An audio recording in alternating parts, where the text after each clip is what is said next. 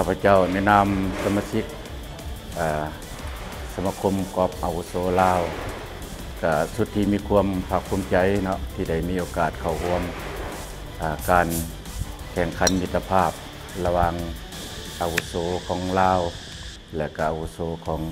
ประเทศเพื่อนบ้านก็คือราชอาณาจักรไทย แข่งขันรวมกันนี้ก็ถือว่าเป็นการสร้างสายพัวพันมิตรภาพ ทางด้านกีฬาเนาะฟังว่าอ่าการแข่งขันในเทอร์นี้นี่จะสร้างบรรยากาศอันดี เป็นโอกาสที่จะได้อ่าทำความดึงเคยผู้จักหักแกนกับบรรดานักกบ